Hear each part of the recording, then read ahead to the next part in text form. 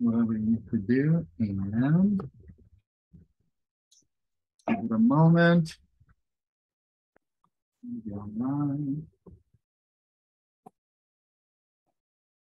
And you could actually start.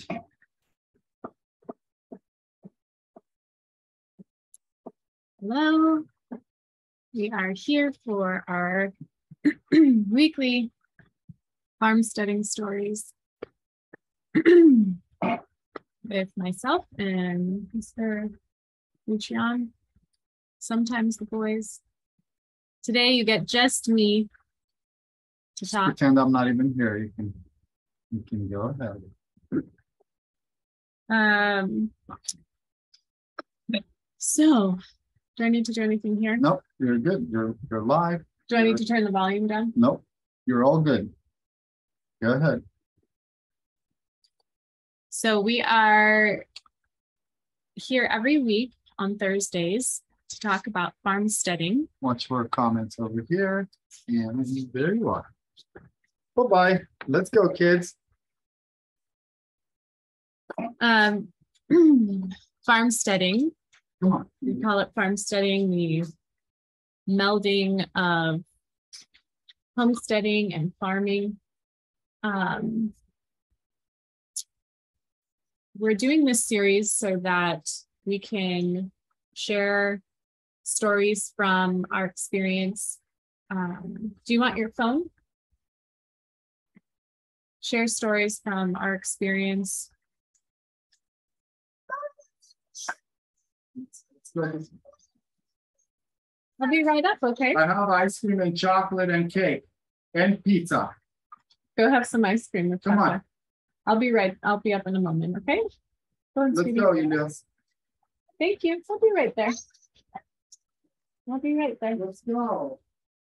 Come on. Maybe you can be right watch there. something too. Come on. So, yeah, the, the weekly series, I don't know if, uh, if you haven't been here before. Um, again, the series is so that we can share stories from our experience. Um, hopefully to inspire you to just share knowledge, share um, our trials and tribulations, um, share our successes, our failures. The homesteading journey is, of course, forever. Like it's a lifelong commitment if you want it to be. Um, and you know, we we are committed for for a lifetime experience with homesteading. I'm sorry, I'm fidgeting so much, but um we have been at this uh, farm for two years now in October. And we're here in Missouri, central South Missouri. And before that, we were in California on a really beautiful um, property as well. And,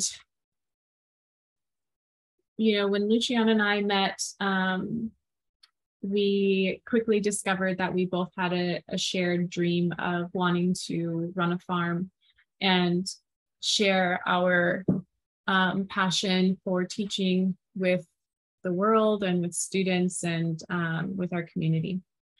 So that's how we ended up here. Um, this farmsteading conversations, um, we're on episode 20, has evolved from us starting with some uh, practical tips to uh, now it's kind of a little bit more free flow where we are sharing some of the things that are on our minds and um, some greater discussions that complement and actually you know intersect with farming homesteading um, sustainability and things like that. And we usually start with what's been happening on the farm this last week. Um, and so this week i'll i'll kind of give a little recap um, this week was one of the weeks that we have homeschool children here you may have heard us talk about this before, but um, there's a local group here in Missouri. Um, well, many local groups, but the one closest to us is a self-organized group of families that um, homeschool their children and do additional outings together to supplement their curriculum. And so we have their um, these families here twice a month and yesterday was another day with our um, with our visitors. We talked about vegetables and uh, made pizza together which was super fun.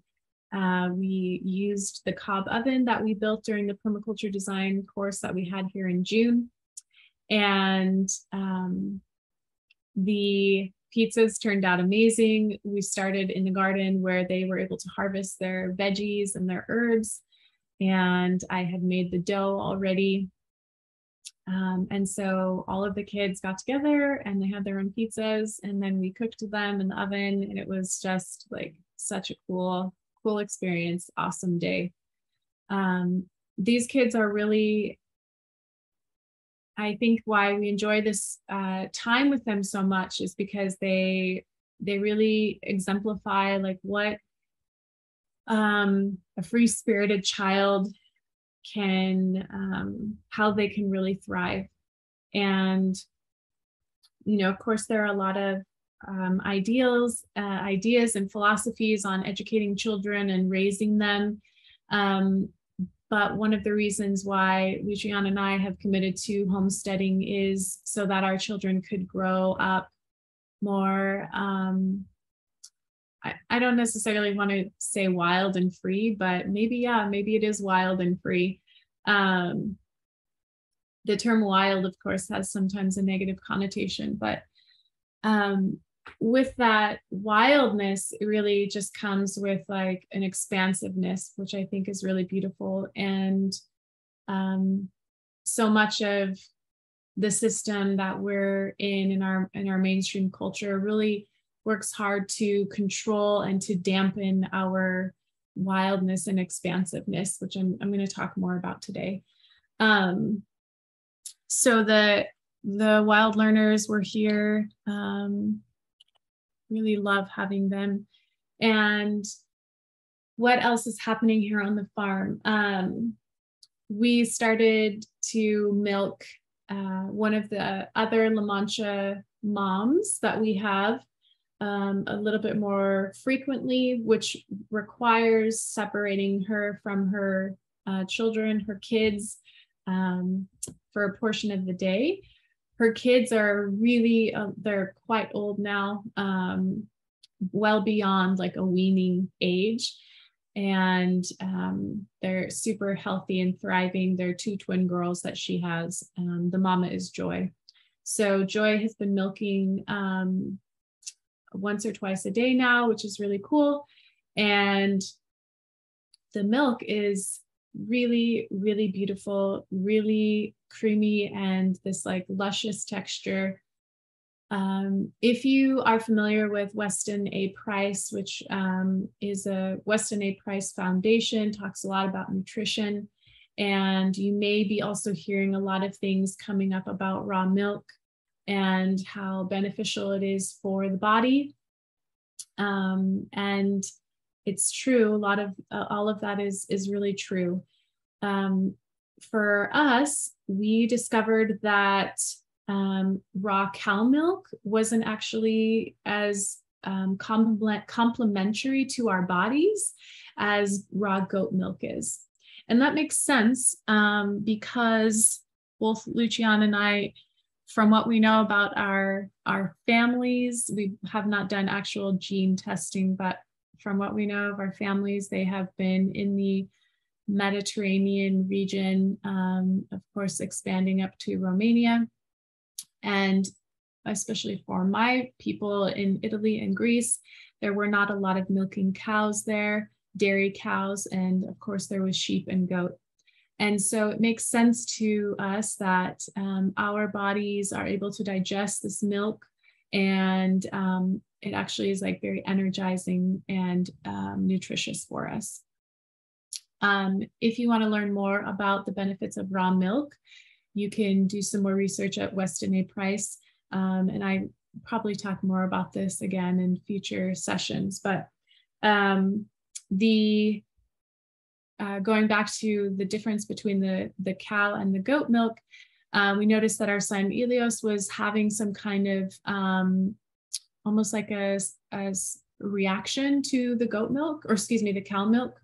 And um, so once we stopped giving him raw cow milk, which we were getting from a woman down the road, those um, reactions stopped. So now he's having this goat milk and it's like really, um, he loves it and we're not having any kind of those reactions. Um, and the other things that are happening right now, um, Lucian moved the chickens um, to a different portion of the property for more grass. We luckily have had a tremendous amount of rain uh, the last few weeks. Two to three really big systems came through and uh, really turned everything verdant again on the property. Um, we, you know, as I we mentioned in previous weeks, there have been a lot of farmers who were very concerned and probably still are uh, about the um, drought that's been happening uh, in this area in uh, places where hay is collected and harvested.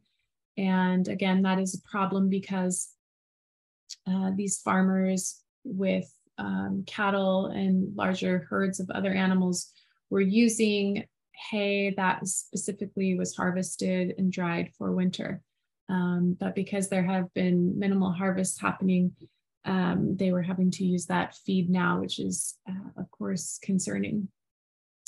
Uh, so we're praying that this these last few systems of rain actually really uh, helped, and uh, we're noticing that the the neighbors who do a lot of haying, their um, fields are looking really lush again. So I'm I'm hopeful that uh, the, that rain has really helped. And I don't know about in your region, but we have definitely noticed the shift to fall uh, really gently moving its way in the goldenrod is blooming and um, that typically is a sign that summer is winding down. When you're outside, you can feel in the breeze that little bit of like a little bit of a chill. And the nights now are low, um, lower than 70. So that's that's pretty indicative in the forecast for us, it's looking like 80s, high 80s uh, through this month in September, which is still amazing. Well, that's so great. Uh, we still have hopefully another month and a half of uh, warm and beautiful weather. I was reflecting on the weather here and um, just kind of feeling a little dreadful, a little dread, like dreading this winter um, kind of feeling like, gosh, I don't, I didn't get enough summer. I'm, I'm really kind of anxious about winter coming in again. Um, and, you know, it seems like in this, you know, here in Missouri where we are, um, we had, you know, really cold weather December through March.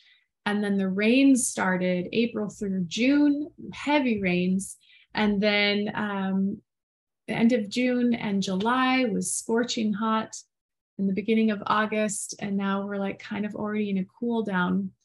So it seems, and it's very surprising, it seems like this window of, of heat is, is quite short. Um, but then we also saw a recent uh, news article in a few different sources that said that this um, this area might be part of a, a Midwest and also south of our country um, here in the United States that may see extreme heat um, within the next 50 years. So those trends are, um, of course, always speculative, but it's all of this to say is that following the weather and knowing your climate is like is so important it's it's kind of like an obsessive thing for a lot of farmers um, you know a lot of people when they wake up in the morning they go and look at instagram or their email the first thing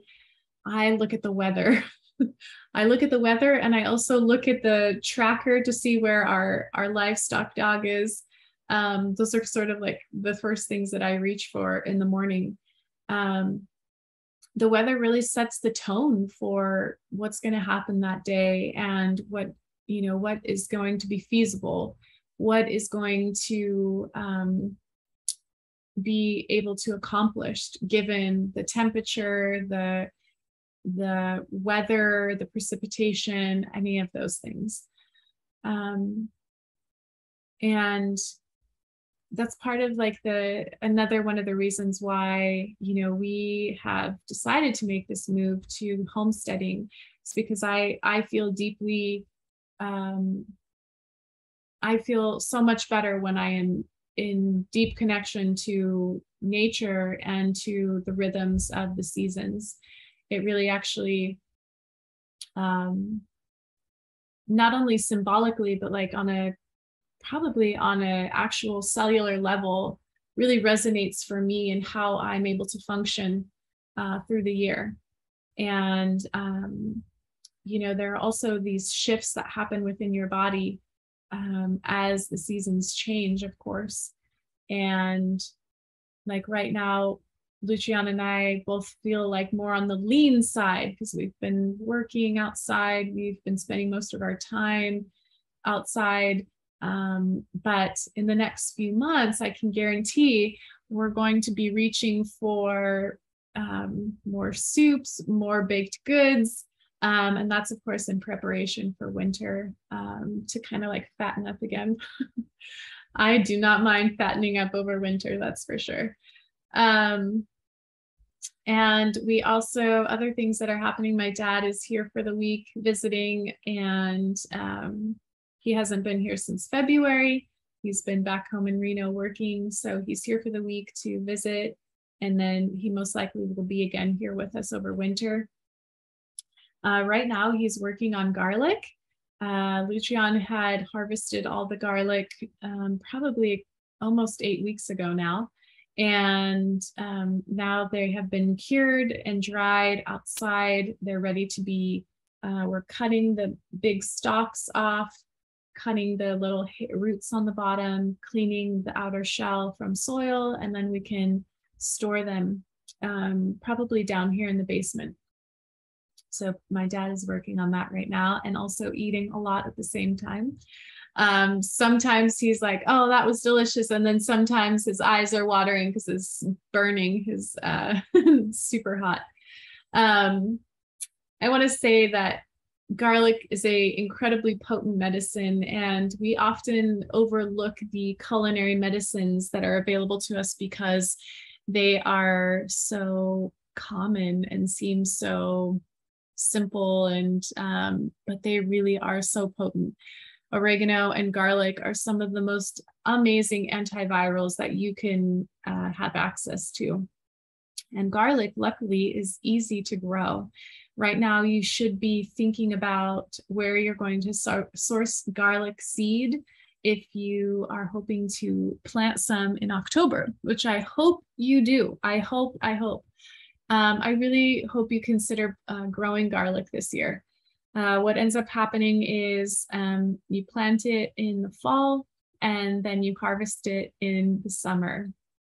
My uh, one of my mentors uh, from farming, she would always say that you plant it around Halloween. You can think of Dracula uh, and garlic, um, and then harvest it around the 4th of July. So it's obviously there's a few variations um, in terms of time considering your location, but that's the general window. And it's very easy. You put the um, the seeds in the ground, which are just little uh, cloves, and cover it up and water it well uh, until you know it starts to freeze and that's it and then you let it sleep and then springtime comes and it sends out its shoots so that it can um, collect sunlight and photosynthesize and grow and miraculously you have an amazing harvest um, so there are some equations online to determine uh, how many you can fit in a given plot of area, depending on the type of garlic, of course, that you're growing. We grew um, elephant, German, hardneck, and uh, another variety. Luciana's watching me from the kitchen, so if you want to type in the chat, uh, what other variety?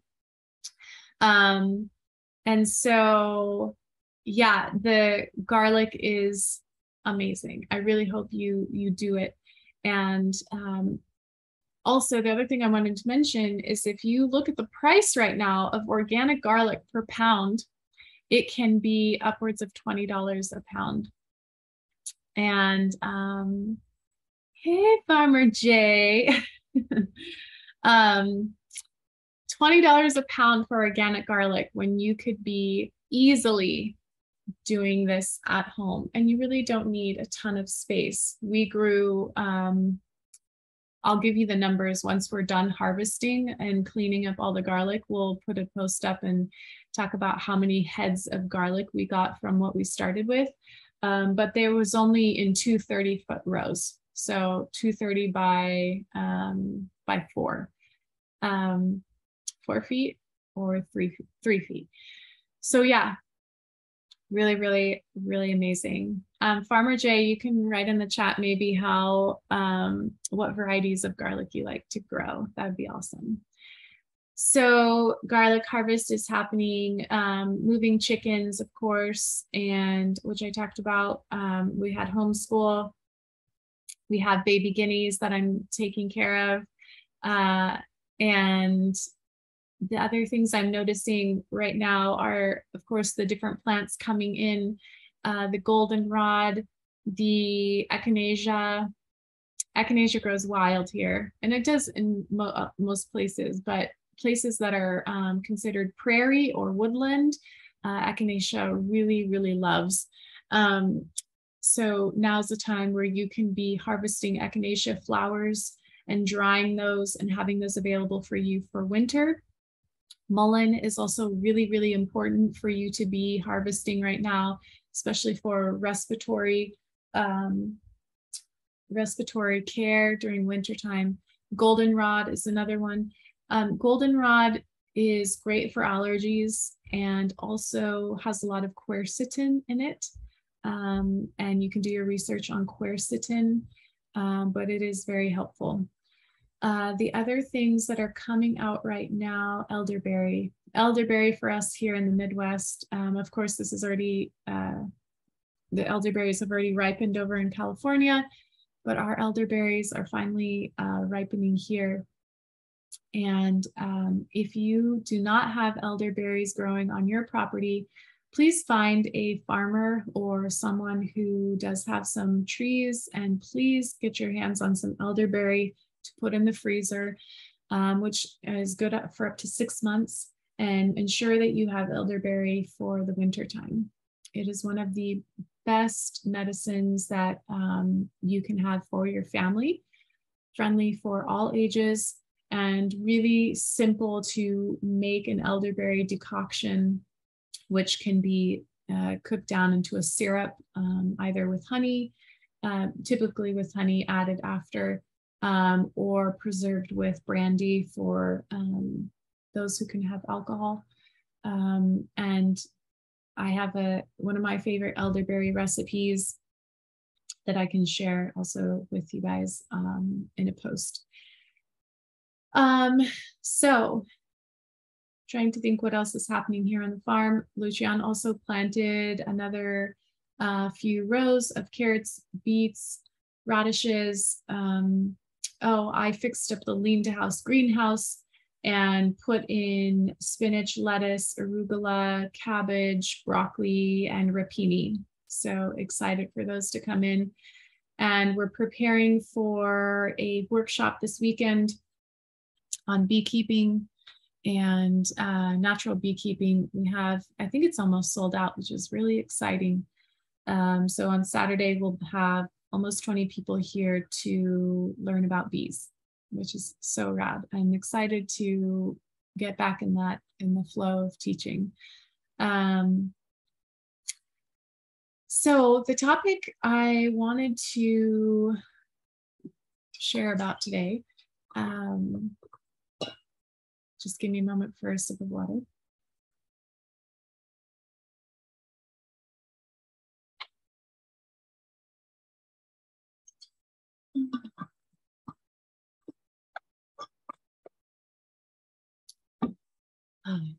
It feels weird to be in quiet, I have to admit. it's a little, um, it's quite strange for me. Anytime I'm away from the children, I still hear like crying echoing in my in my head or screaming or whatever it is. So um so today I wanted to talk about, you know, women on the homestead and um it's something that I've been been thinking about quite a bit lately. It's actually been consuming my thoughts.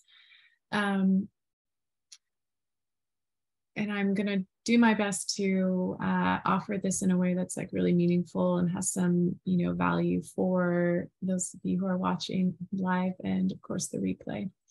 Um, so, you know, women, women right now are I'll still I'll, I'll start by saying people in general, men and women, are experiencing a lot of um, change internally and personally and collectively. Given that we've been through so much in the last two years uh, with shifts in the economy and health issues and um, and these uh, systems put in place to keep us really isolated and restricted from one another.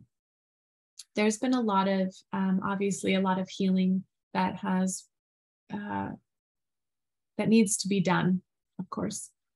And a lot of people have been really drawn to, of course, homesteading. Um, I think that this homesteading revival that I'm seeing really exploded during these couple years of quarant- phases of quarantine and things like that um, because it has been given giving people maybe a sense of hope and excitement for um, living in a way that of course feels more natural.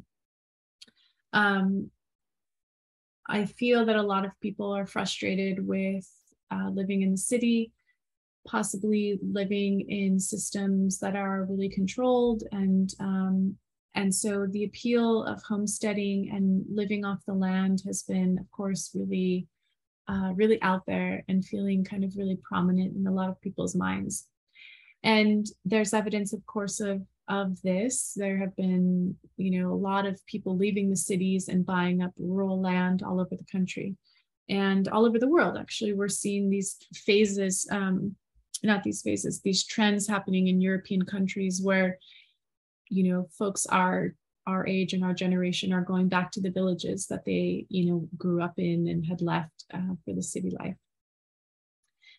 And so I think a lot of this is is really beautiful. And um, but of course, like, and with anything, I want, you know, I always encourage these big shifts and these big changes that people take on in their lives to be grounded in in what's really true for you and your family and, and what really resonates and it's no surprise that you know a lot of women are and mothers are feeling especially um, especially drawn to to doing a, a leap of faith like this to leaving their community behind and jumping into taking on a project like running a farm or running a homestead. And I have spoken to many women who have done this, aside from me. There are many women that uh, we have met, many families that we have met here just in, in our town that have relocated with the hopes of um, homesteading and having a different lifestyle and and mothers and women um, often are some of the first to kind of initiate this change and and i've been thinking a lot about what is the future of not just homesteading but what is the future really of farming of farming look like and this question comes to my mind because even though we have a lot of folks who are um, thinking about homesteading, uh, which is awesome. Um, there's been a lot of things in the farming world that have also come out of the quarantine uh, phases that we've been experiencing. And some of those big changes have been um, massive uh, altering to the farming industry in this country that we know. Um, and so what I'm getting at here is that um, there's just like the, there is a, a swirling, there is an awakening happening right now. And of of wanting to of course create like try to find some kind of simpler life try to find something you know away from the city. But what i'm trying to offer here is can we ensure that it's grounded in something that's really valuable for you and for your family and for your community at large?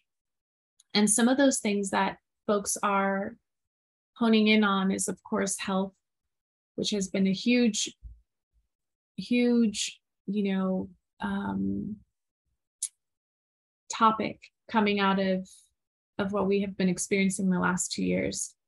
There's a lot of influencers online talking about health and and what does it mean to be healthy and returning to an ancestral diet and growing gardens and things like that and um, this is important and this is valuable.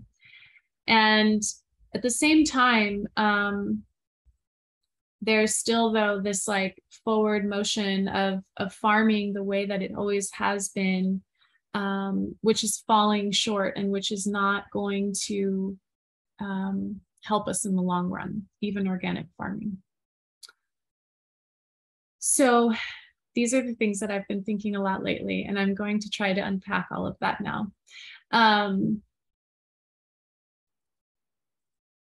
there have been two things that have really been kind of uh, exacerbating my frustrations with the kind of like farming agricultural world right now and the homesteading community is um, first is the fact that there's someone that is buying up i don't want to say his name there is someone who is buying up huge huge amounts of land in this country um, in an effort to uh, control that land to turn it into crops, mono, more monocrops. Um, and this is very concerning for a lot of reasons.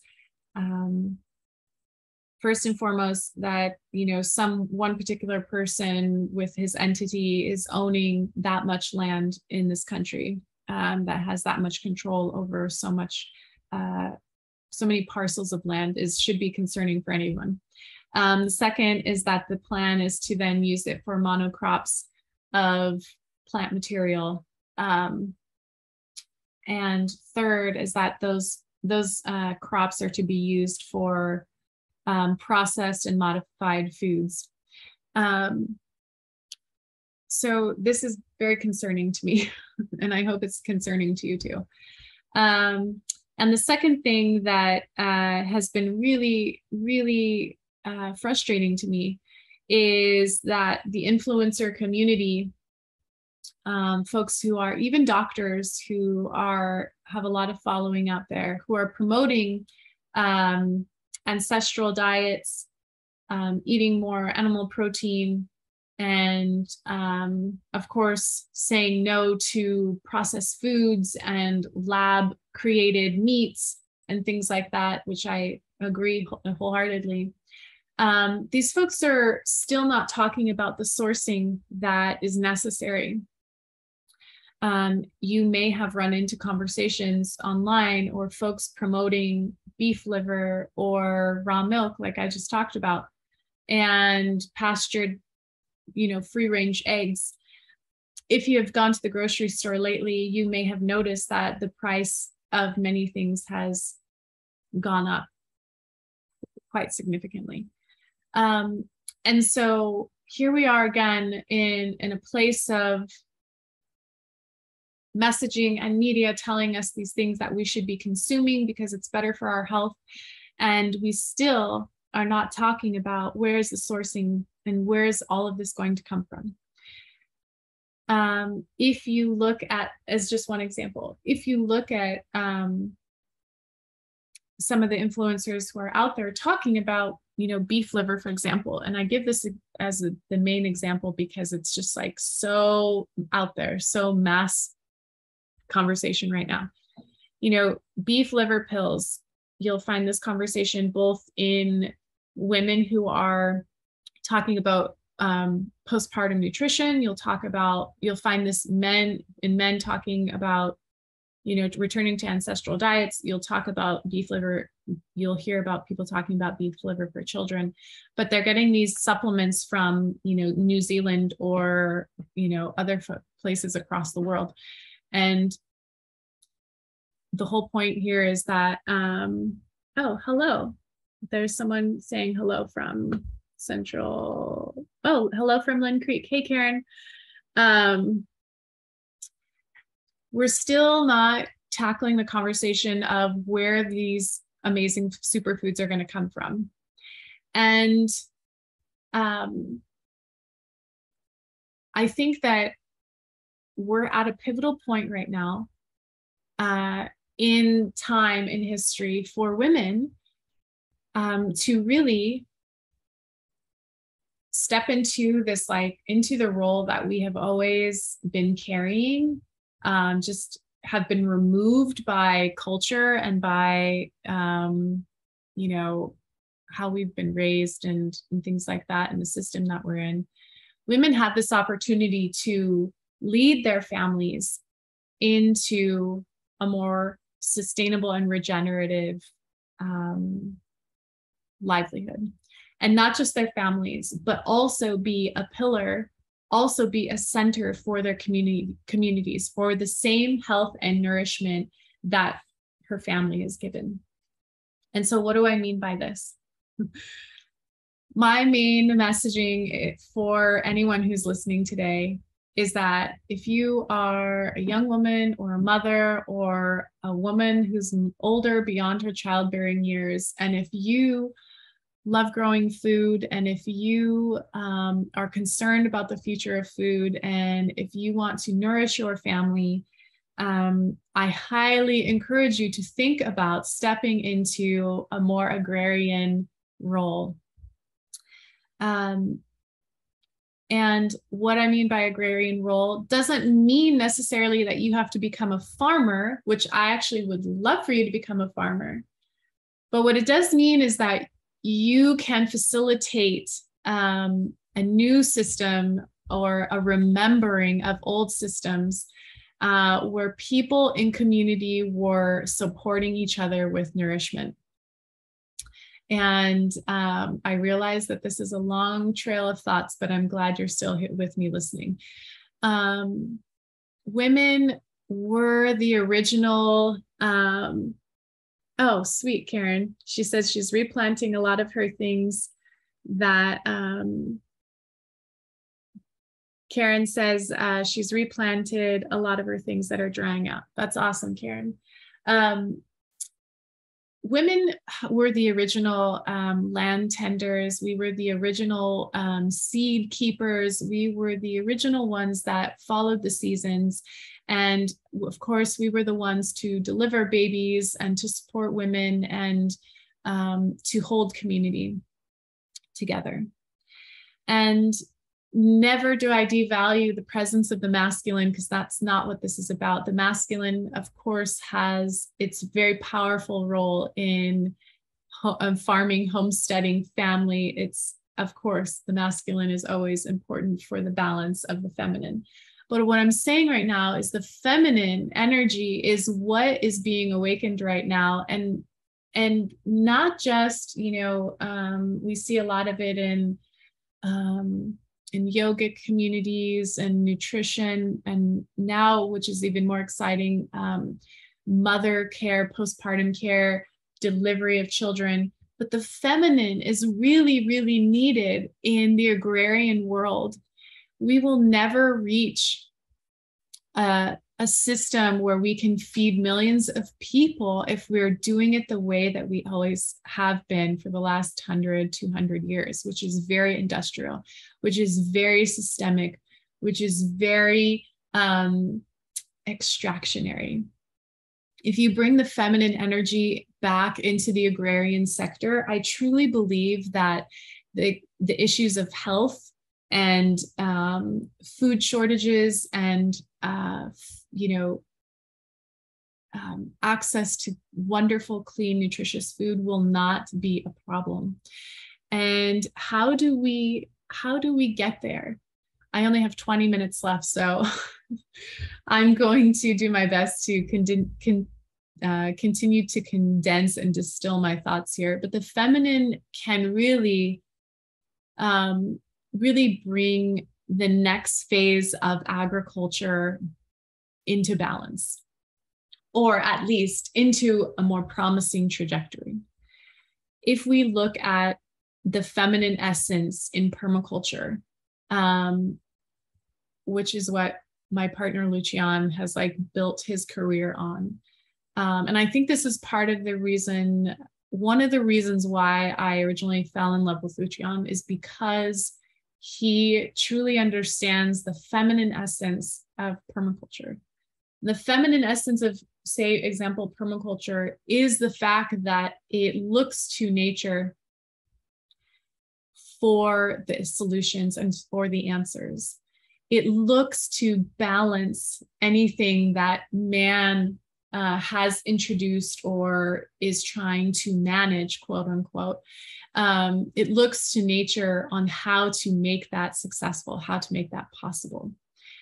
And the feminine essence is the is Gaia is what surrounds us, right?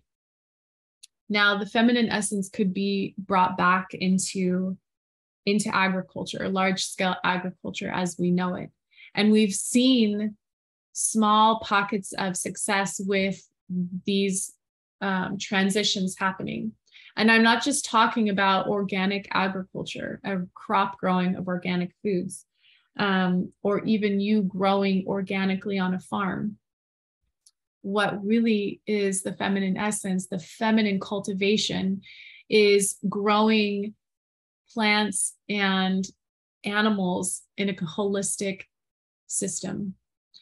Um, and can you imagine if if we had more more women carrying more of this feminine essence into the agrarian sector at large, what could be possible for um, the future of farms? I imagine, I like to dream and imagine about uh, a world where there is a, a small farm, family farm within every town um, and multiple within every city. And those small farms are supplying and supporting their local communities with herbal medicine, with food, with honey, uh, of course, vegetables and fruits, and animals where applicable in terms of size. And women um, or anyone who's carrying that kind of like feminine essence within them have this opportunity to return as a community leader by stepping in and running these enterprises. The homestead is a powerful place for someone who is interested in becoming deeper, deep, more deeply connected to the earth or to nature and to have more food sovereignty. The homestead is a wonderful place to start that. And as I continue to um, kind of like bloom as the next person, the next phase of myself on the homestead, the homestead is showing me that there's so much more. Um, the homestead is showing me, my homestead is showing me that it is not just for my family. It truly is an opportunity to bring in my community and be the impetus to create something within my reach of people um, to really create some positive change. And again, with the emphasis of health, uh, community, connection, and food sovereignty. Of course, this is not to say that we don't need male farmers. Again, that's not what I'm getting at. Um, the masculine is so needed for the feminine to be able to be grounded um, in her work and also to really support um, the feminine in ways that the masculine is just really, really great at. Here's an interesting uh, offering uh, example. You know, um, even though I'm like pretty strong, pretty strong physically, I am not as in my peak that I once was um, when I was farming full time. And there are many things right now that physically I can't accomplish like I once did. Um, and maybe I could if I had a little bit more training. But the fact is, I have two little ones with me all the time. And there are a lot of projects that Lucian graciously helps me with, even if I pester him a lot to get it done. Um, things that his strength and his um, ingenuity and his creative process uh, really executes really beautifully. Um, and it's not just manual labor, although he does most, he does all of the manual labor pretty much uh, in terms of fencing, moving, shoveling, a lot of those things I plug in when I can. Um, but that's just like one really simple example of the feminine, feminine and the masculine, like really working well together in the in homestead space. So the feminine cultivation, which keeps resonate, resonating in my mind, is, is an opportunity for mothers and women and those who are carrying the feminine essence um, to really step into another role that is um, really calling to many of you out there. You may have felt it. You may have felt a desire to become a beekeeper. You may have felt a desire to work with plants or understand herbalism. You may have had a recent desire to grow your own food or attempt to having a garden. These are all um, touch points of awakening, really, that is kind of stirring within all of us.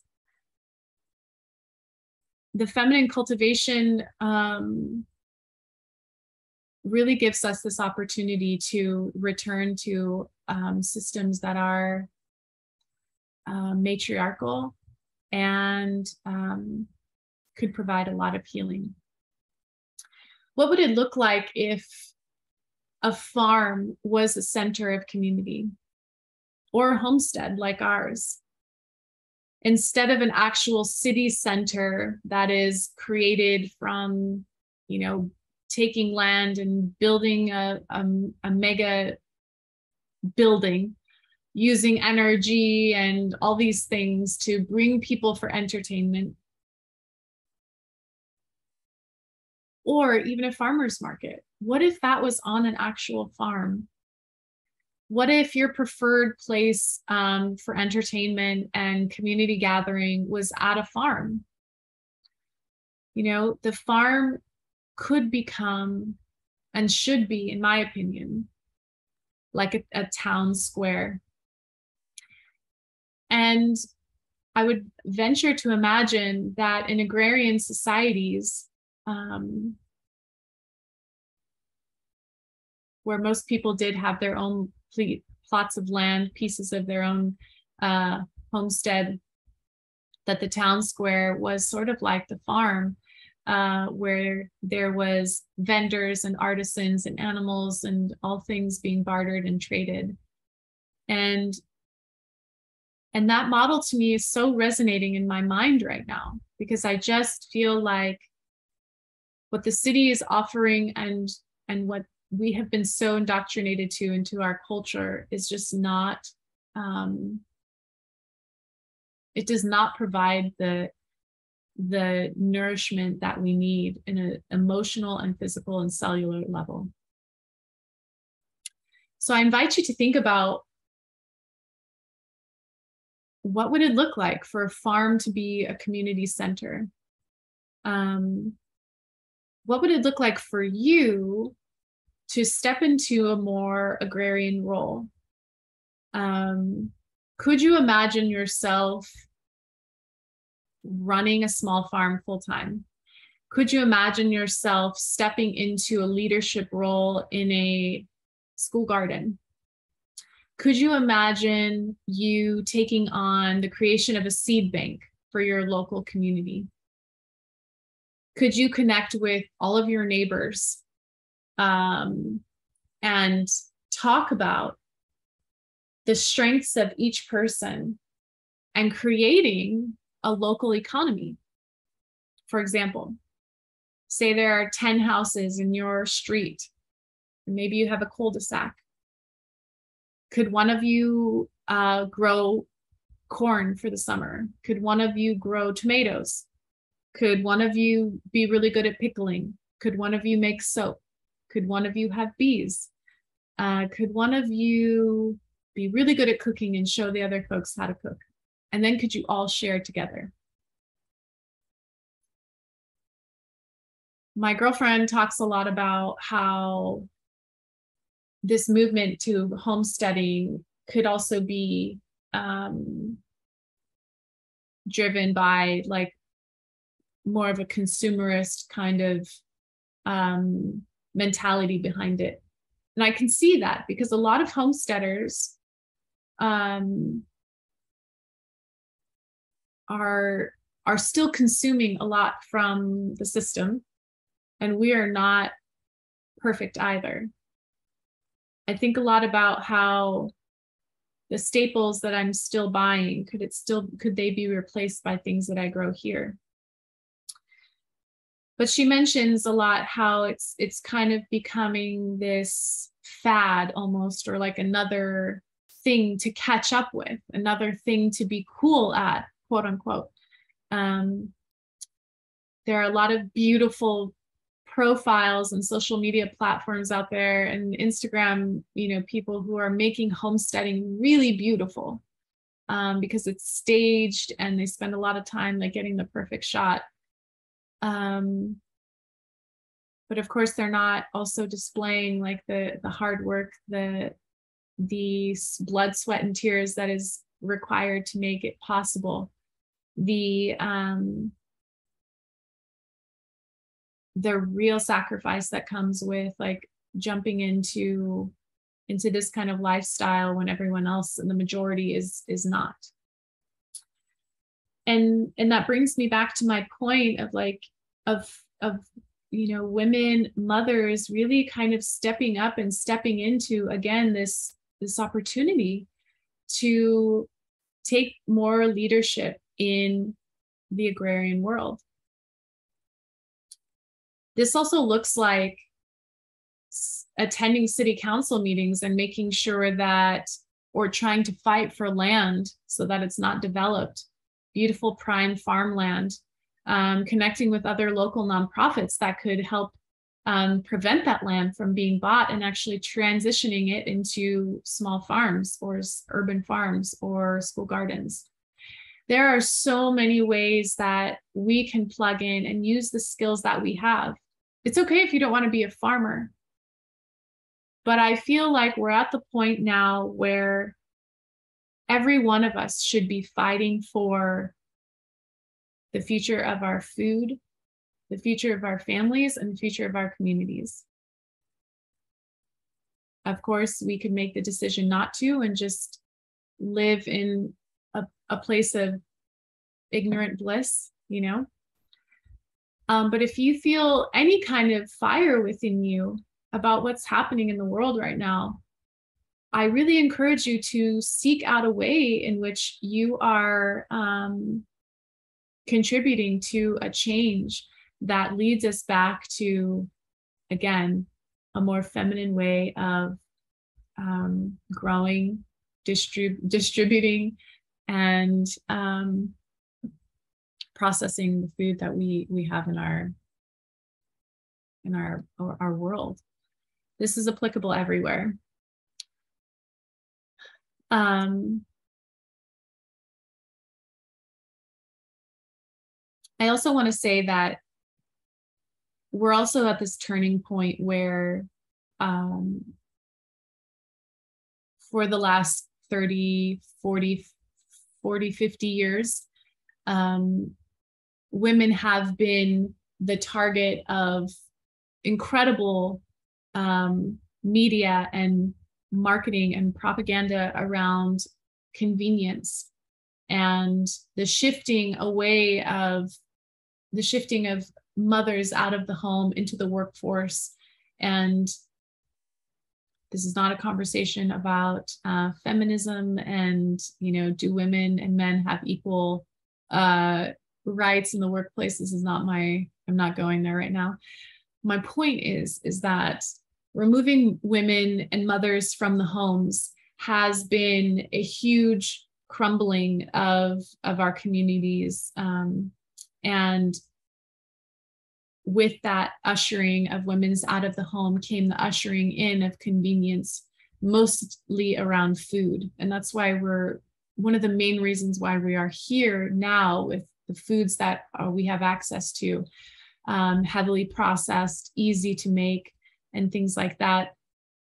Um, it was because our moms weren't at home cooking anymore and weren't at home um, being in charge of what goes into the bodies of her of her family. And i spin it that way because we have been told a lot that being a homemaker or someone a mom who's a stay-at-home mom like myself right now um, is a bad thing. And this is something that i have also struggled with not being in the workforce anymore, not having my own like quote unquote career out there in the world, not being forward facing when I did have all of that. Um, but to be at home with my children and my my family um, actually is one of the most powerful positions that I could carry right now in this time. And that goes for any mom who is in the same role I am, or any mom that longs to be in that place. Aaron said, Yes, sister. Um, we are in such a place of immense power to be able to dictate like what comes into our homes and what doesn't.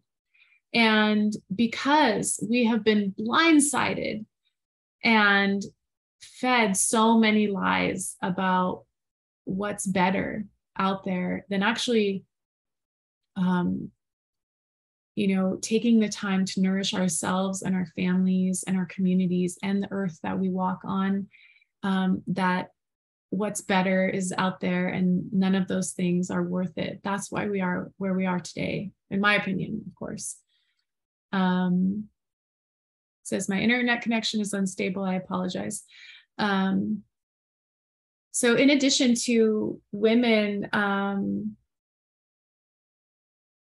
women having this opportunity to you know step into more of an, an agrarian leadership um, i also encourage you to think about what does it mean for you um, if you're a mom if you're a mom hoping to be a mom if you're a wife anything um, if you're you know carrying a family um, how can you step into a place of power and look at your your role again as actually something really um sorry i'm going to cry really beautiful.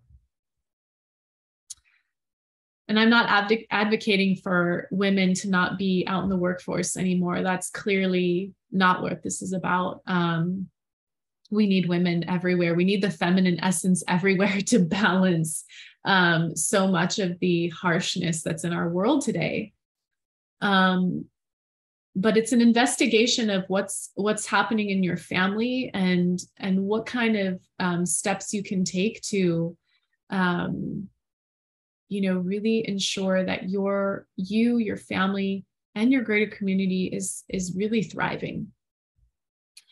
Um, that place of power that we can take back and and claim that us being the center of our family or us um, taking care of our family is an opportunity for us to again bring back that feminine balance, that feminine essence.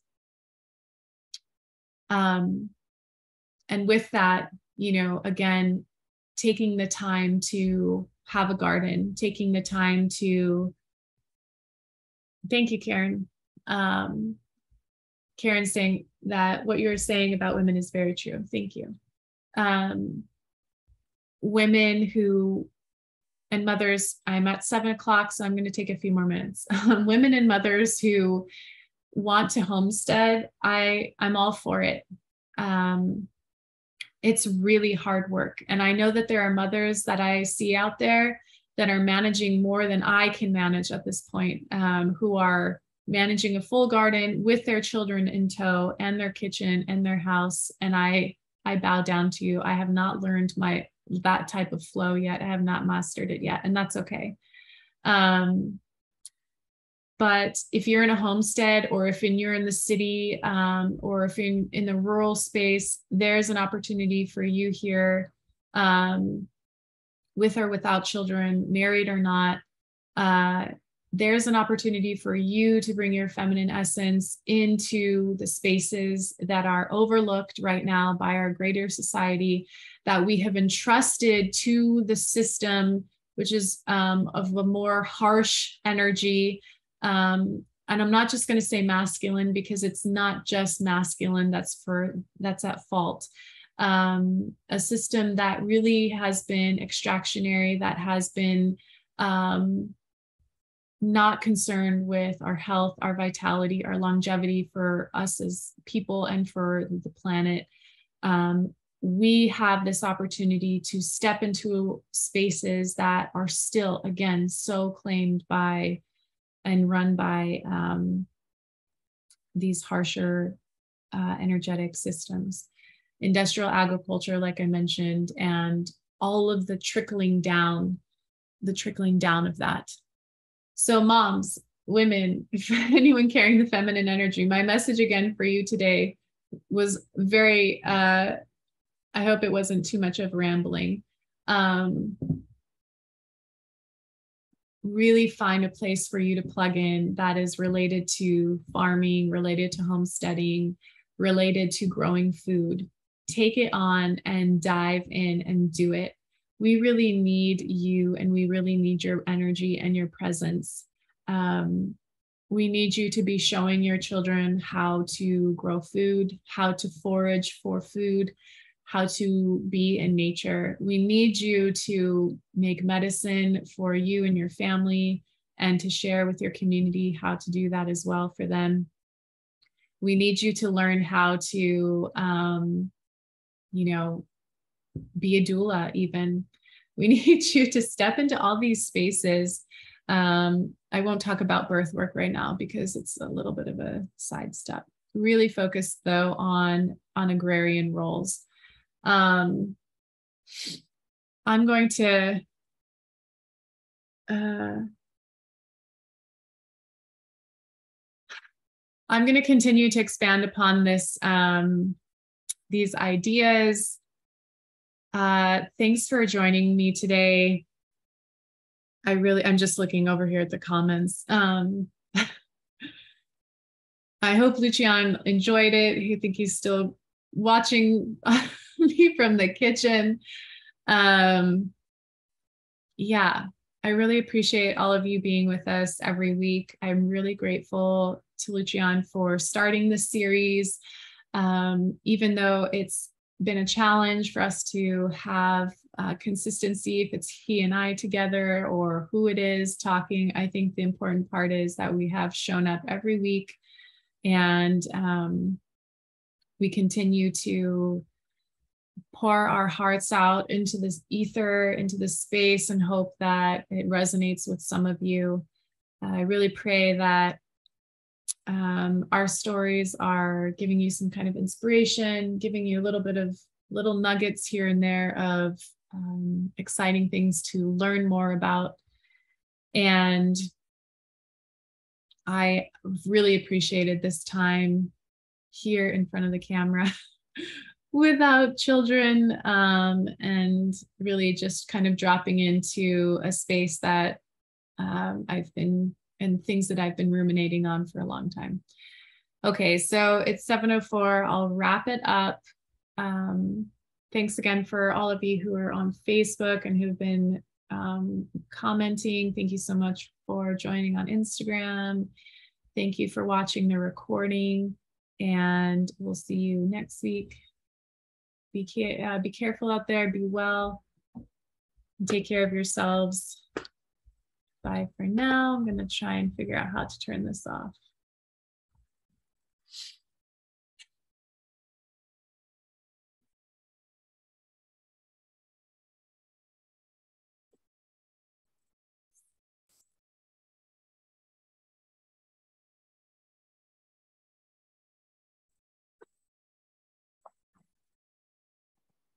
Need help?